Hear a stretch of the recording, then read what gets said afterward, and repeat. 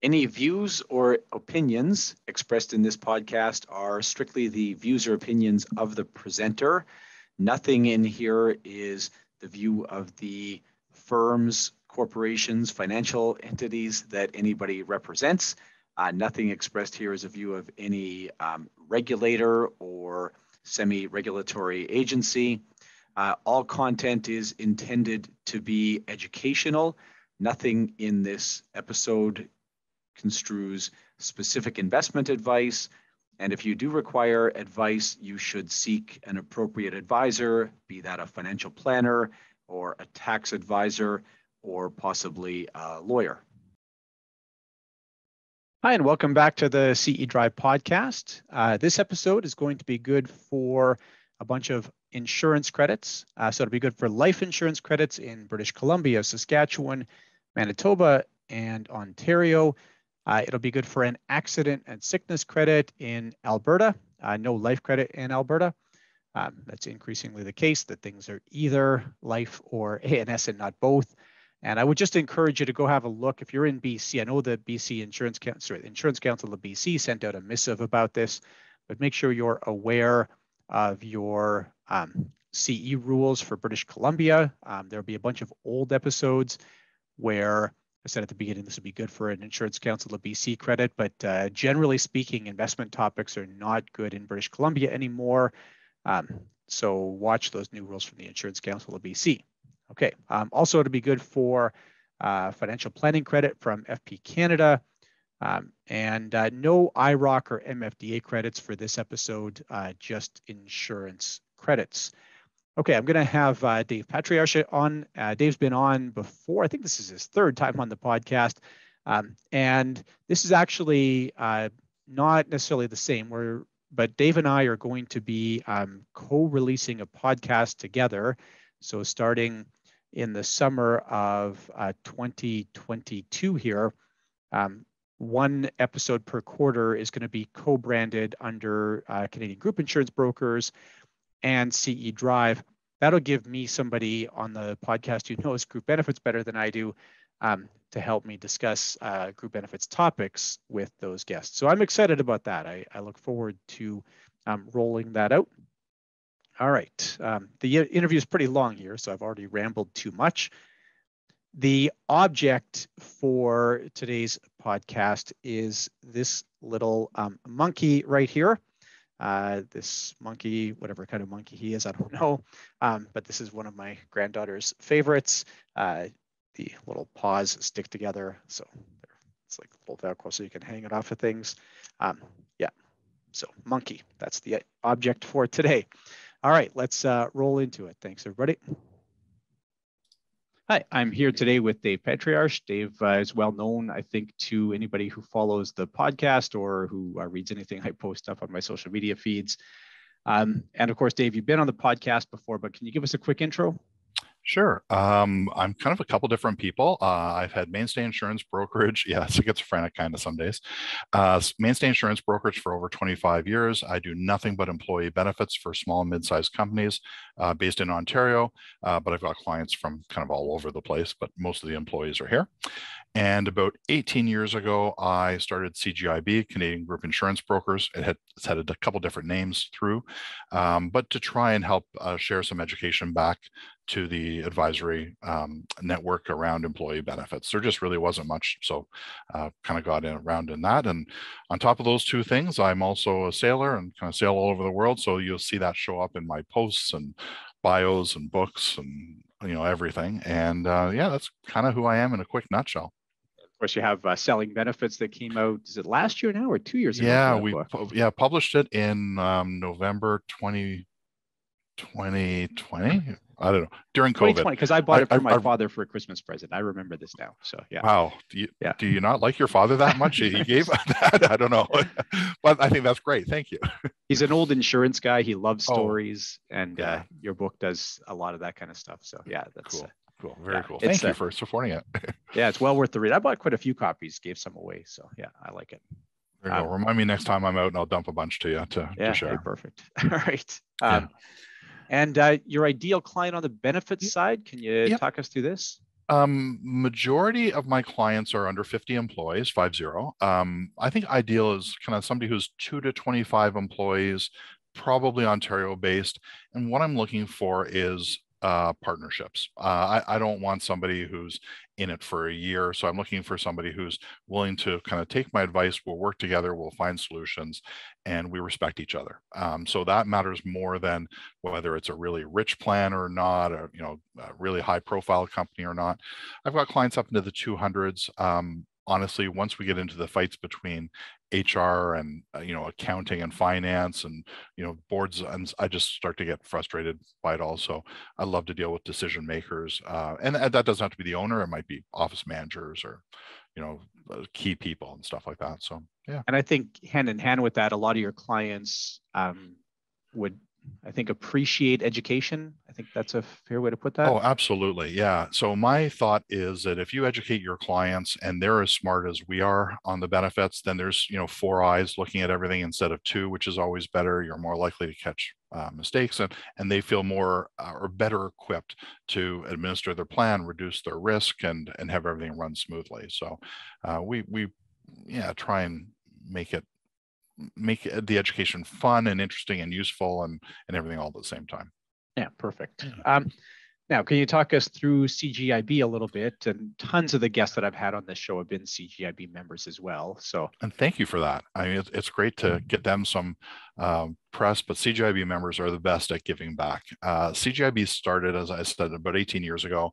Uh, it was a small breakfast group that evolved um, across the the years, people said, okay, we want to do CE events um, that are more uh, group focused and really interactive. So we started doing some of those. We brought out a Slack channel. And basically, what the group is, is bringing benefits advisors together to make people better. Uh, it started with a lot of education and sharing, but it's now become sharing between the members and everything else as well. So we have um, between 250, 300 members. Generally, we kind of go up and down seasonally a bit, and um, they they give a lot. Uh, they help their their competitors. They share to make the industry better, and and doing things like your events, which are listened to mainly by advisors, their competition. They don't hesitate to step up and and make the industry better, which I'm really proud of. I think that's one of the coolest things about CGIB very um, again education focused community and so much great sharing I see on the uh, CGIB Slack channel and in the resources that you have there. Yeah, it's, so. it, it's amazing. Um, people reach out all the time and say, "Hey, where do I find a, a, CGIB for investments and retirement or individual life?" And I'm like, I don't think we've ever seen one. And when you try and describe to somebody who's uh, kind of outside of it, they kind of go, "Wait a minute. So you give away all your best documents and templates and best ideas to your competition?" I'm like, "Yeah, every single day. That's exactly what I do." Yeah. I really am seeing that on the individual side now, uh, although it's a newer organization, but at Financial Planning Association of Canada. So that's my, uh, if you get that question, send them over to FPAC or send them to me. I, I will. Can, I can I uh, will. talk about FPAC happily. So that's fantastic. Yeah. Same type of thing, you know, template sharing and uh, advice on both like technical and uh, practice management questions. So yeah, like none of this stuff is new, right? Like I mean, it's it, in, insurance is kind of an old product, and I mean, there's different techniques and, and models and stuff, but for the most part, it's been pretty much the same for you know hundreds of years. So yeah, yeah. there's no reinventing the wheel. You don't need to. Yeah, yeah, absolutely. Um, so now I know something that you and I have chatted about, about and something that shows up in sort of the community from time to time is when we talk about group benefits, what's the difference between sort of benefits and insurance? Where do you draw that line? Yeah, and it's it's kind of a fuzzy line, I guess. Um, group benefits are basically two parts: insurance and compensation.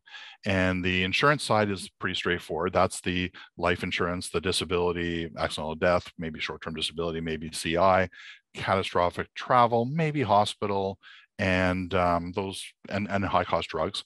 And then you have the compensation side, which is things like dental, uh, vision, parameds like chiropractors, massage, physio, uh, the day-to-day drugs, not high cost. Um, did I say dental? Probably.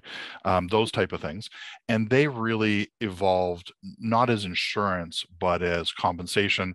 Back in the late uh, 70s, when we had wage and price controls, um, a lot of listeners may not remember those days, um, but basically uh, the government and large companies were prohibited from giving raises and uh, and it started with the federal government, trickled down to some of the large companies, and then uh, and ran for two or three years and stopped. And so what the unions negotiated was bigger benefits um, when they couldn't get pay, and so enrolled dental and vision, and those became kind of a part of our day-to-day life, which never really went away. So yeah, it's that's kind of the the split. I mean, obviously, it can it can blur a little bit depending on the client. If you're small in a company, your traditional insured plan, then more of it is kind of insurance, but it's a lot of things like dental are just budgeting. We don't know anyone who's ever lost a home due to dental bills. Yeah, that's it's a great point, and you know I think like the worst it can get here is say kids ortho, and, you, you know you see a lot of plans today they don't even cover kids ortho, right? So, yeah, yeah, very few. Yeah, yeah. Um, so then, when an employer is paying premiums for the group benefits plan, what do you think they're paying for? Yeah, so it's kind of a split. You're paying, you know, for the the pooled benefits like the life and disability. You're it's pure risk. It's pure insurance. Um, you know, you may never have a claim. In fact, you hope you never have a claim.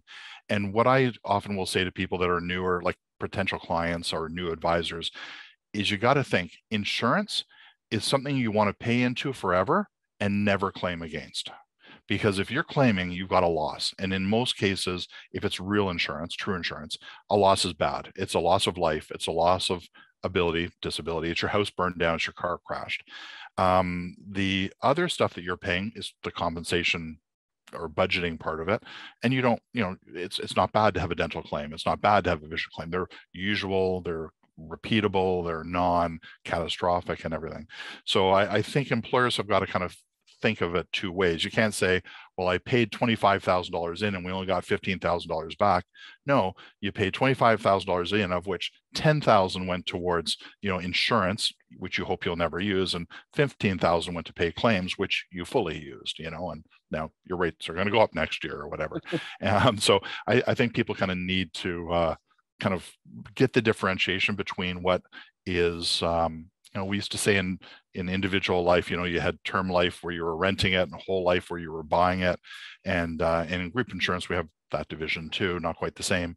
But uh, you know there's the insurance risk that you're buying and and covering and then there's a compensation side on the other way. And it still is a great form of tax effective compensation except for quebec um, where it's all tax-free benefits. And there aren't very many of those left for employers to give to employees yeah. So, and this is a good point that really health and dental doesn't really work. Like it's not a great benefit to offer if not for the tax advantages. Yeah, because when you look at administrative costs between our commissions, the insurance company's administration profit, premium taxes, um, if you said a typical small company might have a 75% loss ratio, 25% expense ratio, that would be a really crappy you know workaround just to protect privacy and outsource administration but when you turn that into tax-free money it's fantastic yeah.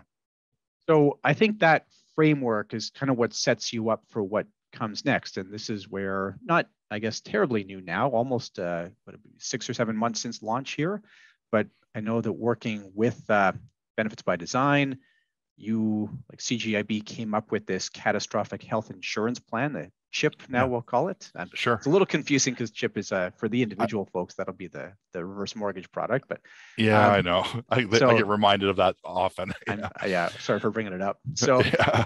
um, so I, I know there's uh, and you already gave a history lesson on uh, benefits in general um, but you sort of um, I, I, think attribute some of this history to bbd's old uh, ben account plan 100% yeah. So it, it actually go if I can go further back than yeah. that. Um, about 22 years ago, um, I was dealing with Canada Life at the time before they became Great West and then Canada Life again, uh, and they had a health spending account, and it was relatively new to the smaller markets. It had been around for a while to the larger market, but um, I thought this was the coolest thing in the world. So I reached out and said, "Hey, let's let's do lots of health spending account stuff. You don't make a lot of money on it, but it's low maintenance and really flexible and cost control, all these great things But the problem is we need the catastrophic coverage. And so Canada Life at the time could do a $1,000 deductible and nobody else in the industry really could very well. Uh, Clarica did soon after, which was actually mutual at the time, became Clarica, became um, Sun Life along that path. Um, so they had these products, and so we helped the insurance company do the marketing for them, pieces and everything, and it worked really, really well. And so then when the mergers happened, and Canada Life became Great West and Clarica became Sun. Both companies dropped the product instantly. And it was labor intensive. Uh, it was a little bit hard to understand and communicate, um, but it was kind of ahead of its time. So they they dumped it and almost immediately, like within a week, uh, within a year or so, uh, BBD launched BenAccount. And it was kind of a, a soft launch at the beginning and then kind of took off. And once I found it, I'm like, okay, great. I can put my clients back to that kind of plan design. And it's that hybrid of health spending account with catastrophic health coverage above it. And uh, and it it just worked. And so there's kind of a history now of over 20 years. Um, and for 20, I guess pretty much almost maybe 18 or 19, I've been dealing with BBD with Ben account cases. And uh, and they've been running incredibly well, uh, very cost controlling and stuff. So just so I'm perfectly clear yep. here, so the thousand dollars, like you put a thousand dollar HSA in place, or whatever amount you want. Yep. So I would say most of my plans are 1500, 2000, yeah, it's a little bit higher than that, but yep. And then your prescription drugs would have that thousand dollar deductible.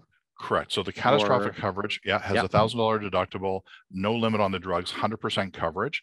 Um, so that covers uh, drugs, uh, travel from the first dollar um, hospital, some major medical and travel uh, and travel hospital drugs, major medical, those things. Yeah. So you you pay the first thousand dollars, which can be paid from the health spending account, or you can coordinate with spousal plans. There's a lot of moving parts depending on how what your situation is in your family, and um, yeah, so it it kind of splits out that uh, that risk and um, it, it it gives you the coverage for the big bad ugly and the flexibility of the health spending account for the day to day, which we talked about. Yeah.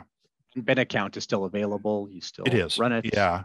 Yeah. Yeah. Ben account's available to the public. Uh, any advisor, licensed advisor can sell it pretty much any province. Uh, the difference with this one, if I can go into that, is it is transparent and fully pooled. So one of the faults I've always had with it, and I've been very vocal, which is why the product happened as it did, was um, when you did have claims over a thousand dollars, not necessarily over 10,000, the standard stop loss uh, part uh, point, but when they were over a thousand, you'd have these weird adjustments in rates because you had a very low, low premium. All of a sudden, you hit this high cost claim, like five thousand dollars, which isn't really high cost anymore, and your rates would, you know, double on the catastrophic portion. Right. Now it was low already, so it wasn't really even if the rates doubled, it wasn't expensive, but it it was hard to explain why you're getting like you know fifty or seventy five percent increases on a $20 benefit, you know. But you were really going from like zero utilization to 500% utilization. Exactly right. Yeah. So I kept pushing back saying, hey, can't we just fully pool that? You know, like you can reinsure and do whatever you want behind the scenes above, but let's get the that that thousand dollar to say ten thousand dollar part fully pooled. So and yeah. Oh, go ahead, Dave. Sorry. Yeah. No, and and the answer was always, yeah, yeah, yeah. We'll we'll, we'll talk about that someday. And and they just they listen I, very politely and like most people do to things I say, but then they reached out again and said, hey, do you do you really want to do this? And you know, like let's make it happen. So, um, really with Ben account, if you hit that, just for the sake of argument, five thousand dollars you're you're not pooled on that risk. You're you're all essentially experience rated on well, that risk, or kind. Of. It wasn't quite. Yeah, it was kind okay, of. Yeah. So okay. it was not like 100% experience rated, but because you said, like you said, from going from no claims to lots of claims, it would have this you know effect, and it's weighted over a couple of years, and and they they're not trying to you know get every dollar back every you know right away, but I mean it kind of has that the, the same problems most traditional plans have for small groups of you know like a, on a traditional plan a $10000 stop loss does very little to help uh, an employer because the first 10,000 of experience is going to hit them. Well, this isn't quite that bad, but it still is kind of in, ineffective in what it could be, I guess. Still running that risk. Yeah. So, who was your? You said you had some ben account clients, and yeah. who was your sort of ideal Ben account client? Where would you put that? Yeah, that's a great question. There isn't one. Um, okay. It, I mean, so it's it's interesting because they've kind of been all different sizes. I've had interest from, you know three person groups to hundreds of lives it it you know tech and younger people kind of get it a little bit better because they're kind of used to the the flexi idea and I, I don't know why that is but most of the groups I've had on it for close to 20 years are not young groups and they're not tech groups. I mean, they're everything from, you know, retail and manufacturing, you know, all sorts of different things. Um, I've got bakeries and I've got donut chains, you know, that, that are on it. Uh, so I don't know if there's a typical client by industry or by size for that matter. I will say that there's one thing they all kind of are attracted to, and that is cost control for the employer, because the employer basically is setting inflation in, in many areas of the of the plan, um, and flexibility for the employees. So it's kind of a, a win-win. And is it, do you see rates come up and down under that plan? Yeah, so you kind of have to disassemble a little bit to look at it. Uh, generally, the average rate increases if we go if we're going to kind of make a pretend rate of of the insurance, the catastrophic, and the health spending account spending, what's actually used, they they probably follow along a typical inflationary rate of healthcare in Canada, with combined with aging and stuff is probably around three or four percent. So um, it's kind of trending along the same line. It's just where's your line? So if you put in a thousand dollar health spending account, you're going to have a lot more cost control than somebody puts in 2000 or 3000. But we're not getting away from inflation. I mean, every year, you know, drugs are adjusted, massage, physio, dental, fee guide adjustments and stuff like that. So um, those, these costs are still there, but the top end is maxed out and uh, by the, the health spending account. Yeah, and I think this is something that I've seen you sort of push for um, is this idea that like everybody's going to have roughly the same, I'm going to use the word inflation, but yep. whatever word we want to use, on their benefits plan over the long haul. Yes. Right? Like there's, so, you know, sometimes it feels like, I don't know, the insurers are out to get you.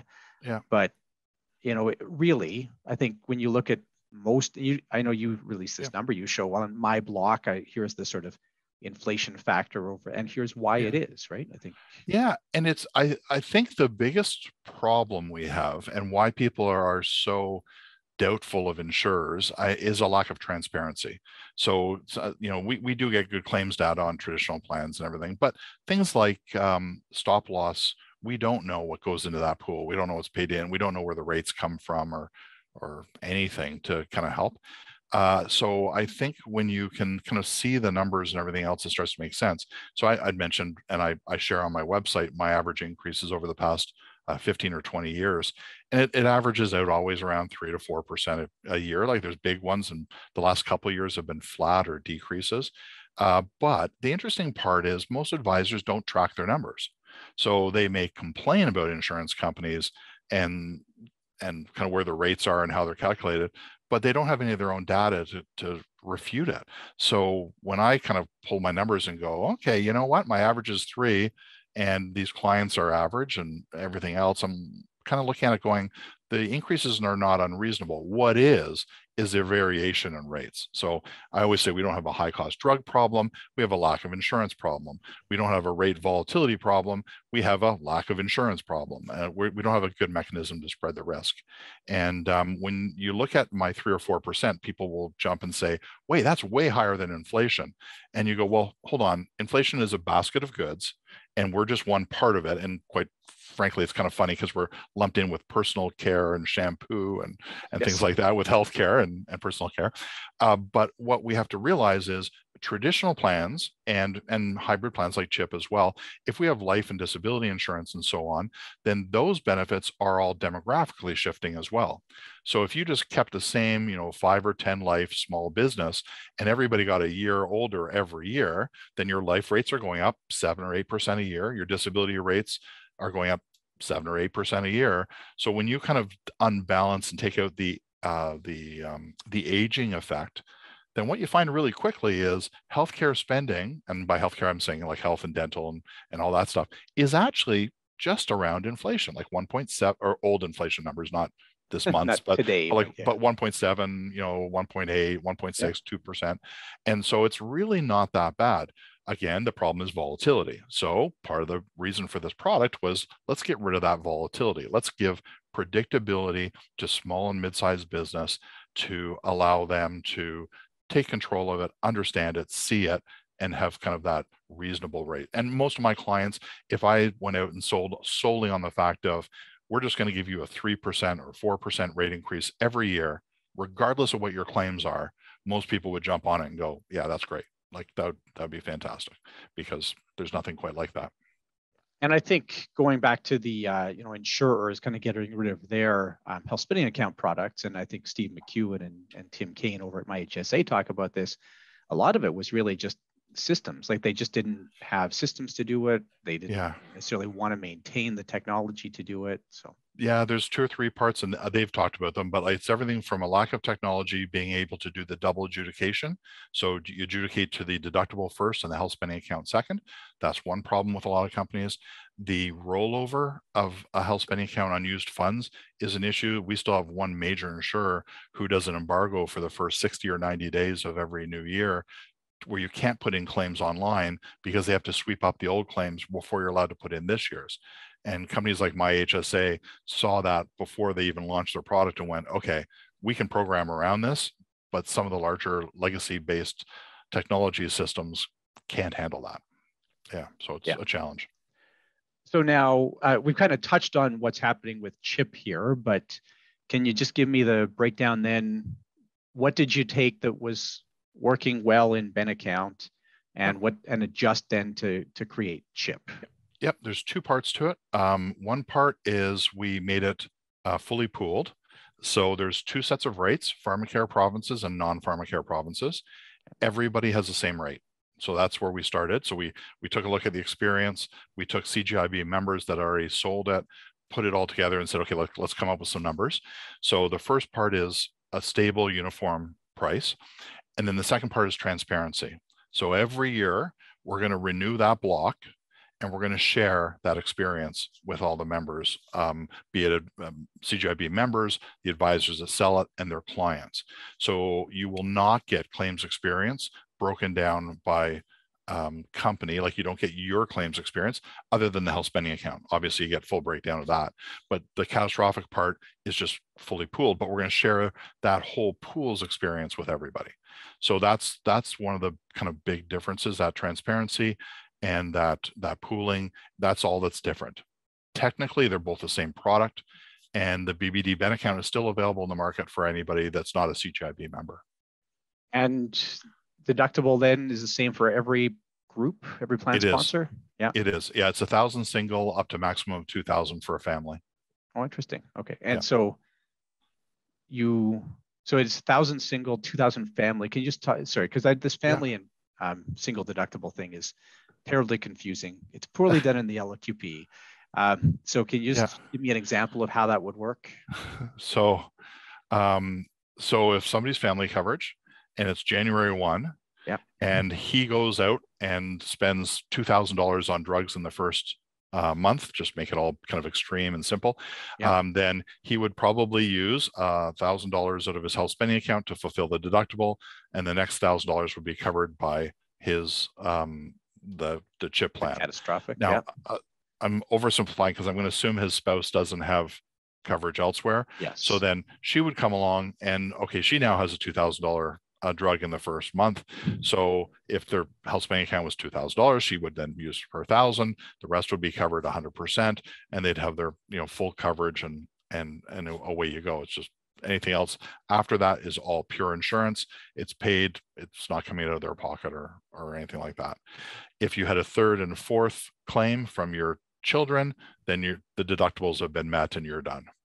Real so life, that's all going to go pooled happen. onto the plan then. Correct. Correct. Yeah. yeah. And, and real every, life, it doesn't oh, happen very often. No. You, I mean, you don't find both husbands and wives have high cost uh, claims. Yeah, that that's fair. Um, yeah. Now the um, the drug formulary same for everybody. Then you're not picking and choosing a formulary. Right. Today we aren't. Uh, it's a mandatory generic standard. Uh, Green Shield, who does a, the the processing behind BBD um, yeah. formulary. So you know, good checks and balances, prior authorizations, all the stuff people are used to seeing, but no limit, no nothing unusual.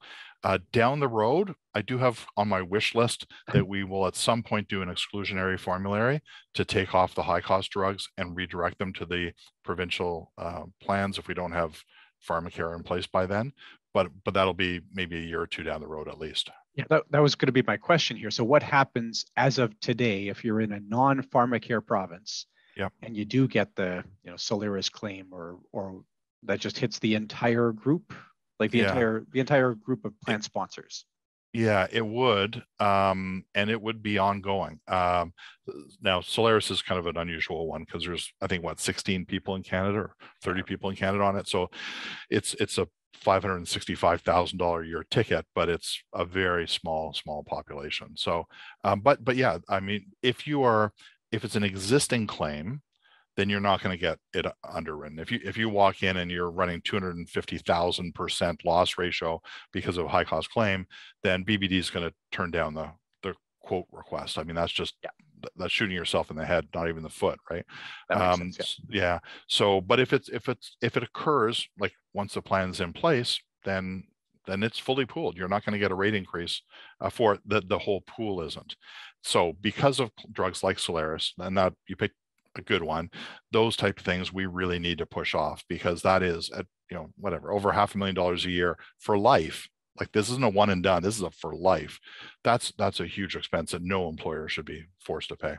And, and i think this ties into why you've sort of limited this offering to cgib members right? Because there, there's this expectation of sort of field underwriting and kind of plan management from the the advisor? There is, um, and it was it was interesting because BBD kind of brought it up as a suggestion to me and said like we don't want to just open this up because we don't want it to be a dumping ground for bad cases, and a lot of plans have faced that. Uh, the chamber plan is a fantastic plan.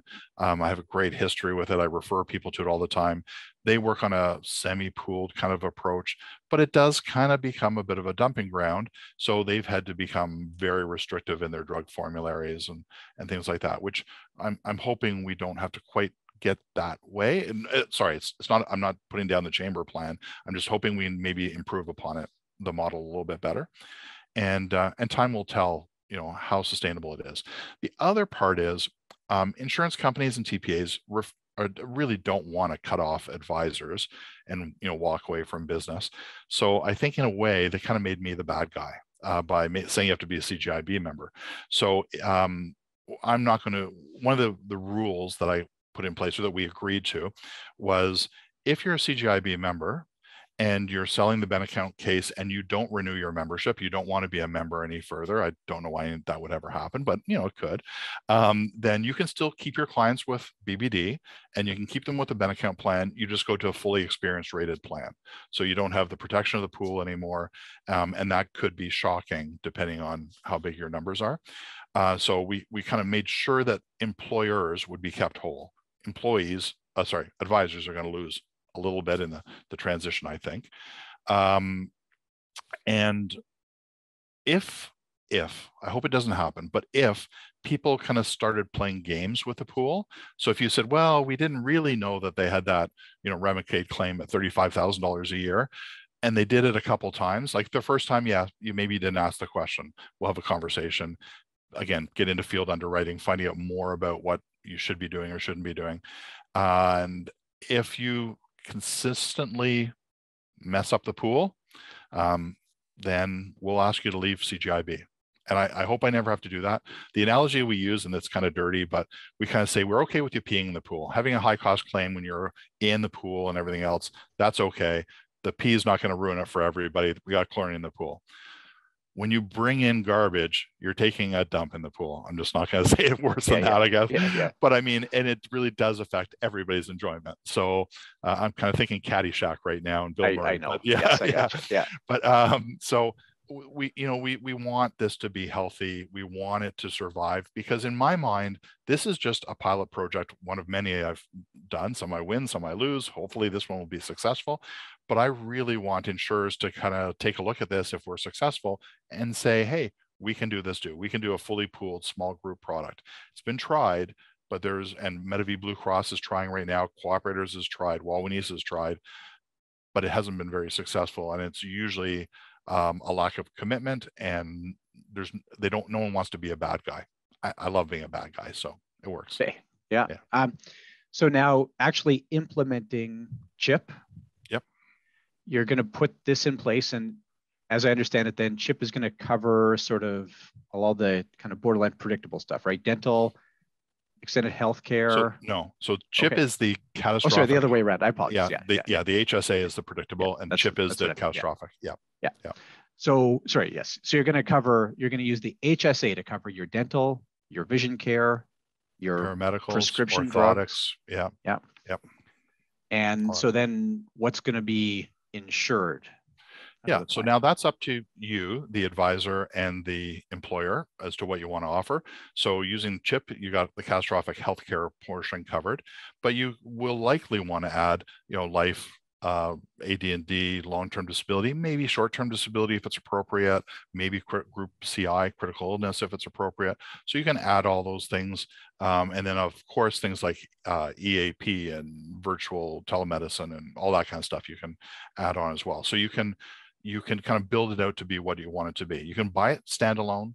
Uh, you can mix and match it with like my HSA could do the HSA and these guys could do the catastrophic. It's not ideal because then you have double administration and, and things like that. So I try and keep it all together. Uh, but you can build it out to make it look like a traditional plan. So I just quoted one the other day and it has uh, one times earnings life insurance, two thirds graded scale LTD coverage, um, uh, the CHIP catastrophic health coverage, and a $2,500 health spending account. So it'll come out to be kind of like a pretty affordable traditional plan in look, but a lot more flexibility within it. what conversation do you have with the employer or the plan sponsor in that case about that $2,500? Like, because you know, you Yeah. don't you don't get in a situation where five years later it's still a $2,500 HSA, right? Uh, you might, you might. And so a lot of companies, yeah, it has stayed the same amount. So uh, when we start out, there's kind of two different kinds of conversations and it really depends on the client. If it's a virgin case, so there's no existing coverage, then you're kind of just saying, what's your budget? How much do you want to spend? Uh, but if you're doing a traditional plan and you're trying to displace it to this, what you'll often do is figure out the cost per employee and then build it backwards. So you'll say, okay, it's your benefit plan costs $4,500 a year per employee. So let's give $3,000 in the health spending account. We'll use $1,500 for, you know, the pooled lines and, and, you know, away you go. So it, um, it really depends on which way you're going to do it. So then what we do throughout the year, as you kind of continue along and you get to your first renewal, we show what the utilization is of the health spending account. We show how many people have hit the limit and then we have a conversation. We say, is this okay still? So what you're going to find is if the average spend was, say, a thousand dollars last year and you had a two thousand dollar health spending account, it might be eleven hundred dollars this year and you know 1050 next year and 1300 the next. It's going to bounce up and down. But as long as the majority of people aren't hitting the limit, that's the inflation and utilization and trends that we're seeing inside that. Um, then when we when we start to hit too many people hitting the top end, so they're hitting the max of the health spending account, we go back and ask the question. And some employers say, no, let's just leave it. That's our budget. That's what we're offering. And others will say, let's bump it. So we've got clients that started at a thousand, went to 1500, 2000, 2500. During COVID, I've got one company that's uh, in the trade show business. So they've done massive layoffs, cuts, and everything else because their business has basically been dead. So they reduced all their health spending accounts, but cut all the catastrophic coverage uh, for the few staff that are still on.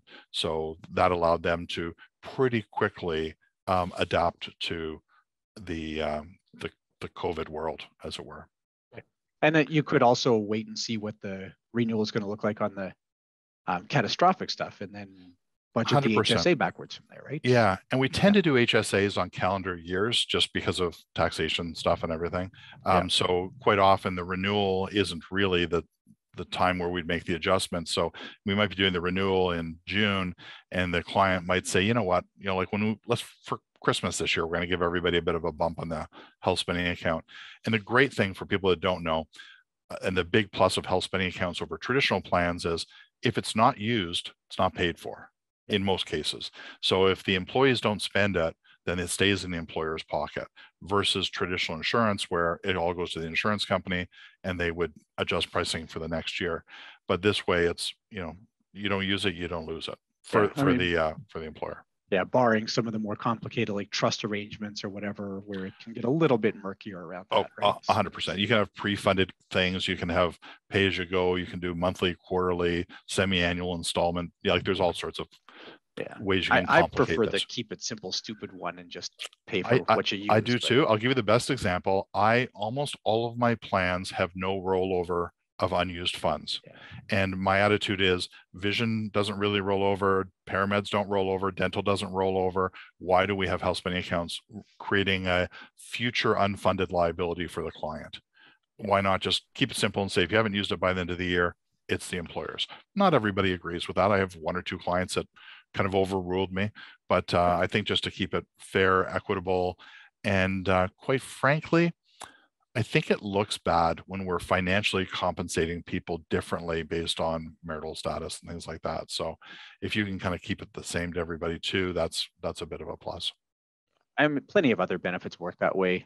And I don't just mean like benefits in the benefits plan. I mean, there's like days off, right? You don't yeah. use your days. Some companies now, I know that's become yeah. the, trend. I'm sure your you, wife you, would be would have a lot to say about this. Yeah, yeah. They uh, they extended their vacation year to try and get more people to use up their vacation, allowed a bit more carryover and things like that. I I think yeah, there's um there's a few there's a few things that we are constantly evolving, trying to kind of do better and adapting to our environment too.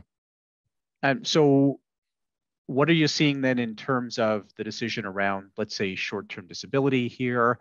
Do you find like do you just go out and kind of you know shop the market, or do you have a preferred set of carriers for your, you know, yeah, for those catastrophic risks? Yeah, that's a good question. So um, I don't. So first of all, I don't sell based on price. And I mean, that said, we all you have to be reasonable. You can't just be the most expensive in the market or anything. But um, but my my thing, my thing I speak to prospect uh, prospective clients about is I want fair pricing and reasonable pricing over time. Like we know it's going to go up every year. I just don't want to see these huge swings up and down all over the place. Um, so let's let's price it right and you know try and kind of maintain things over time. Um, I just totally lost the question. Sorry. Um, so that's the pricing discussion, and then oh, sort of how are you picking the the catastrophic, yeah. like, or sorry, the uh, the the um, the pooled risks, the life. Yeah. So it really LTD. depends on where where the client's coming from. Are they trying to compare to a traditional plan? Are they trying to um, compare to like the union plan and they're non-union or something like that? So I'll have some clients that'll say, okay, I know what I want. I want one times earnings life. I want you know LTD, and then I've got other ones that say I, I don't even want life insurance. So if we have to take it, let's just make it a minimum twenty five thousand. Um, when you get to the funding of the health spending account, uh, if it's a new company, I will uh, say start with a small amount and increase over time. Don't do something big that you can't afford and you have to come back on. And um, so it, it really runs a gambit. There's no right answer because every business is different and their employee base is different. Uh, I had one recently that we were talking to. They're just a prospect. They may not become a client, but majority of their um, staff their spouses all have benefits. So they see it as a much more or a much less beneficial benefit. That's right. right. Uh, yeah. than if people didn't. So yeah. they have a bunch of uh, of the guys. It's mainly male dominated. I think ninety five percent, and they have a bunch of wives that are teachers and nurses and, and different you know traditional uh, jobs that have good benefits or reasonable benefits at least. So they're kind of going, okay, we don't have to do a big health spending account, but we do want to give them life and disability insurance because they're not covered by that. And that catastrophic may be good if the other plan has a drug cap. So these work well together. So they can put in a really nice, very affordable plan to coordinate with spousal plans. So again, every client is different, need is different, employee makeup is different. So yeah, it's I, I wish you could pigeonhole everybody, and if you could, you I wouldn't exist. You just go online and everybody would buy the same plan. But um, and and the chip plan is not made for everybody. I mean, lots of people still want the traditional plan, uh, but I have union groups that have it, and the union loved it. They're like, wow, employees get flexibility, and you know we can you know spend it however we want to spend it fantastic. That's better than the management controlling what we're allowed to spend it on. Yeah no cra is the only one that controls it so yeah, yeah. Um, so the you said not for everybody. What other factors would cause a, a group not to choose this? Yeah so um, number one i guess one that's come up most often is if you do have high claims if you do have a, a terrible loss ratio you've got those repeating high cost drug claims, for example, I would say, no, we, this is not for you. There are some great products out there that have exclusionary formularies. I think that's a much better decision than putting drug caps on, but that's another one. So you, you can't, there are solutions now that we didn't have 10 years ago uh, to handle those cases. So they, they probably be better off somewhere else. Um, if you have a very small group, you know, one or two people, you know, then you're not going to be here. Um, you may, it is a bit of a communication thing and a bit of a learning curve. So if you don't really have anybody who's going to handle the administration, which is very seldom the case, or help to communicate, that can be a problem. Language can be a problem sometimes because of that education. So if you've got a workforce that's very diverse, uh, that can be an issue, but I don't find that it has been in any of our groups really. And we can do everything in English and French, of course. Um, and the only other thing is I would say if people are trying to really hard, hard fastly benchmark to something else. So like I've got a few groups that are non-union and they're saying like, we have to match the union plan. I go, well, here's something that works better. And they're like, no, they look at their plan and ours. And if ours doesn't match theirs or better, then we don't do it. So, you know, there's, there's those type of things, but I, I, I don't think there's a real big criteria for who should or shouldn't. I think it's really case by case it's interesting because there are some benchmarks. I know this is a question that I see in the like CGIB forums sometimes yep. where people want those benchmarks. And I think it's Toronto Board of Trade maintains a pretty good benchmark. I don't know study. if they still are. I actually oh, have a message into them. I think they might have stopped it in 2019. Oh, okay. So yeah. I don't know if it was just a COVID pause or, but I can't find any reference to it at all anymore on their okay. websites. Uh, and, and, all the links are dead and stuff. Yeah. Yeah. And I think one of the carriers still has a benchmark that's available to Sun Life and Great West Canada Life both do ha- have kind of, I can't remember what's called, introspector or something. Yeah. Uh, and, um, and they are good tools. Uh, but my problem with benchmarking, and I, I actually fundamentally have a problem with it, is um, it shows you where people are, not where they want to be, and it's information um, content with no context. So I, I did the benchmarking uh, with Sun several years back uh, with a prospective client, and and I'm going to oversimplify it, but like half the businesses surveyed had drugs at 100% and half at 80%. So their their take on that was, oh well, we want to be a better benefit provider. We want to be at 100. I'm like, no, you don't. All the people at 100 want to get to 80. All the people at 80 are not trying to get to 100. Nobody wants to get to 100 for right. cost reasons and fraud reasons, everything else.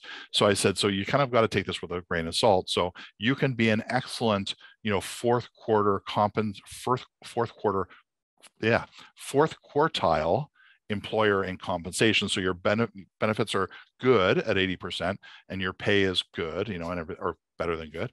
You don't have to be that 100%. And I think without that context, people tend to view benchmarking poorly and they get stuck in positions you can't get out of. I've got clients that have 100% coverage. I tried to talk them out of it. 10 years later, they can't afford the plan. Every year it's a nightmare, but they don't want to cut it because the employees are so used to it that they don't want to backlash. And they're in a very competitive employment market like everybody is now, but but they have been for years. So yeah, yeah it's, it's like the average is not the result, right? The average is just the average. Exactly, exactly. So you, uh, I, I think quite often asking the right questions, going back to field underwriting of what are you trying to accomplish, kind of what's your budget that you want to spend, because there's no point in creating something that's so expensive you can't afford it and you're going to have to claw it back. And um, I have um, a phrase a, a, guy taught me 30 years ago: uh, one awe, one awe crap wipes out 10 attaboys. So you know if you improve your plan 10 times and then take away once, that's all anyone remembers.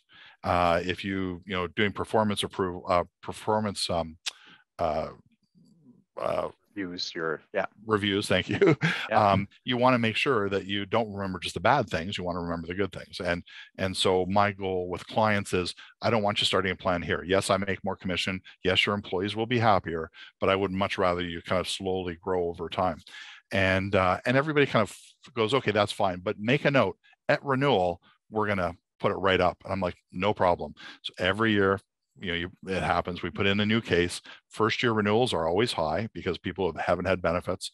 Claims are high with traditional any kind of plan. And then the at renewal, you go, okay, well, your rates are going up 15, 20%. Do you still want to go from 80 to 100%? Whoa, whoa, no, no, no. Let's just let's just stop there. So uh, I, I think you said it kind of negatively earlier saying, you know, you don't want to have a health spending account the same five years down the road. A lot of employers are kind of okay with that. No different than the $1,000, 1,500 or $2,000 dental maximum has been the same for 20 years. Yeah.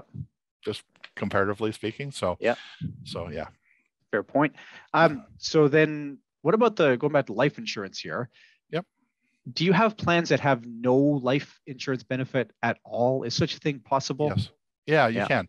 So uh, you brought up my HSA um, earlier. So they have a health spending account. So you could just do just a health spending account, nothing more. You could add catastrophic coverage above it. We can do the same thing. Um, and I'm wholly supportive of, of of my HSA. So this, this is not a competition between them. They do some amazing things that we're not doing, and and we learn from each other and share stuff all the time. Um, but I I think that um, I did it again. The life insurance. So carving out life. Oh yeah, you, so I, I do have groups that have uh, just catastrophic um, coverage and and health spending account. I have lots that don't have disability insurance. I have maybe one that has no life insurance. I'm still I think the most important benefit is LTD, and uh, so I always kind of insist on that. And most people are not great at buying life insurance, and I, I I don't think you have to go and have three times earnings or half a million through group. I think that's kind of wasteful. But I you know, if you can cover burial costs, that's good. And for the most part, even the smallest groups can get fifty thousand, even a hundred thousand dollars of life insurance coverage at a fair price. Not the cheapest, but but not bad and blended and you know, smoker, non-smoker, all that kind of stuff. Yeah. Yeah, I like if I knew everybody had life insurance, if I knew everybody was sitting down with an agent doing needs Oh. analysis, getting the term insurance they need, you know, I'd be fine. Like carve out group in all cases. But Yeah. you're right, that's not happening. No, and I I've gone back and forth in my head. Like for many years, I always said like take the minimum. You should go buy your own, and then I realized people weren't, and and I've had some really um, pivotal learning experiences where like I had a, a a widow speak to me as we handed across the I think it was fifty thousand dollar life insurance check, and it was a flat fifty, and her husband was a, an engineer who had passed away from cancer, and she said thank you very much, and she was crying, and she said, um, "Where's the rest come from?" And I said, "The the rest of what?" And she said, "Well, like, where's the rest of the insurance money?" And I said, "Well, this is just a group insurance, but I can help you if you have individual life insurance policies you want to try and you know find or make claims on. I can try and direct you." And she's like, "No, we don't believe in insurance." But where's the money going to pay for my house? And and where's like I I don't work like and he was relatively young, like mid 40s, and Yeah. like she wasn't over 50. And I'm kind of going, you know, family welfare, you know, like that, like these are not good options. But um, but that was kind of a rude awakening for me. Conversely, I feel like if you do too well on group insurance, then nobody feels they need to buy individual insurance. So I kind of get stuck going back and forth between those two things. So um, uh, life insurance, I don't think has ever been cheaper uh, probably easier to access and uh, with you know better um, uh, whatever classes for preferred health and things like that. So there isn't really a, a reason not to be buying life insurance. No, there's almost like even now with diabetics can get term insurance in a lot of Yeah. cases. Like there's hiv positive you can get it now yeah yeah, smoking status has uh, you know relaxed a little bit in some cases. Like Yep. yeah, that's and I mean Yeah. that's always insurable anyways. It's just cost. So exactly yeah yeah I, I almost think like the group insurance should come with a warning that says, hey, like you're getting this life insurance, but it is not enough. It is absolutely 100% not enough. Yeah, I think it's one area that we fail in in educating people, uh, whether that is in uh, the you know investments and and insurance and mortgages and stuff like that. Like it's we we don't teach that stuff in school. And I was just speaking to a business owner who's 23 years old yesterday, and he's asking about group benefits and and they're just starting up. They so he's only he's not even an employee officially, and he has a subcontractor, and so it's going to be a little while till they kind of form up properly. Uh, but um, he said, "Well, do you think you know somebody at 23 year olds needs life insurance?" And and I said, "Well, you know, if you're single and yeah, you don't have any real debt or anything. No, then the need isn't huge, but it's never been cheaper, and you're never going to be healthier than you are today. So go out today and buy a million dollars life insurance and pay your 20 bucks a month or something, and uh, and you'll have it. And so next time you do a business, you know, improvement loan, and the bank says, hey, we want that secured, that quarter million dollars, then you can say, no problem, I'll just assign my life insurance to you, and and away you go. And uh, so I yeah, I, I think there needs to be bigger discussions around that with people when they're younger, and we don't we don't do well talking about life and death and taxes and stuff like that. So uh, going back to LTD, um, yep. I've seen you make the argument, and I don't want to put words in your mouth here, but I've seen you make the argument yeah. lately that you know some groups could have a instead of 66% or whatever two thirds LTD, you could do a 50% income replacement on an LTD plan. Yeah, um, I think I don't know if I've said that exactly. I, I don't know if you said you should, but you yeah, could. I, I, am not think, suggesting you're yeah. recommending it. Yeah, I yeah. think we're down. Well, it, and you could put in a maximum on the LTD benefit. So you could say we're just going to give coverage up to the NEM, the non-evidence maximum. So in a small group, maybe that's 2,000 or 2,500. So instead of doing two thirds to 10,000, and you have to medically qualify, we'll just kind of cap it off at 2,500, and you can go buy individual coverage to top it up. Um, I think we're going to see a, uh, a catastrophic shift in long-term disability coverage in the next five to 10 years. I think um, we're going to see it probably disappear. I think it's probably going to be challenged on a human rights uh, side of things because the benefit ends at age 65 and we have lots of people working past 65 that then don't get that benefit. And I think if that happens, then it's going to switch into a sickness benefit rather than a disability benefit. And the difference would be more defined length of time. It might be a two year benefit or a five year benefit. So, you know, a lot more cost effective. But more importantly, the insurance companies don't have to have reserves. If it's not a disability benefit, there's no reserve requirement by law. So um, I think we're going to see an evolution to that. And we've seen already some hybrid programs around disability. So um, I, although I think it's most important, I still try and get in every plan I'm cognizant of the fact that we may see it disappear or morph in the coming years and seeing uh, maximums being reduced or lower percentage amounts is, is both are a possibility for sure.